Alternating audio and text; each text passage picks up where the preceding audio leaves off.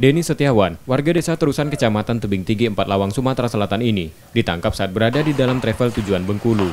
Tersangka pencurian ini, satu bulan terakhir memang diburu polisi karena pencurian yang dilakukannya. Tersangka tanpa sadar mengupload foto tiket keberangkatannya ke media sosial Facebook pribadinya. Saat itulah tersangka tertangkap ketika polisi merazia kendaraan yang melintas. Polisi mengatakan, tersangka merupakan pencuri yang laporan polisinya tak kurang dari 10. Oh, jadi kemarin kita berhasil mengamankan atau menangkap pelaku khusus spesialis bongkar rumah Pak.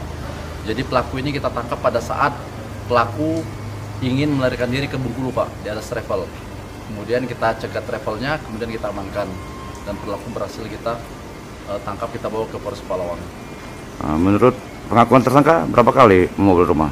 Sudah sampai 10 kali Pak, tapi yang baru melapor baru satu kali ini Pak. Untuk tersangka kita kenakan pasal berapa Pak? Pasal 363 pencurian dengan, dengan pemberatan dan ancaman di atas 7 tahun.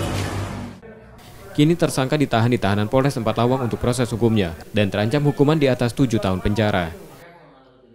Sukma Aldino, Kompas TV, Empat Lawang, Sumatera Selatan.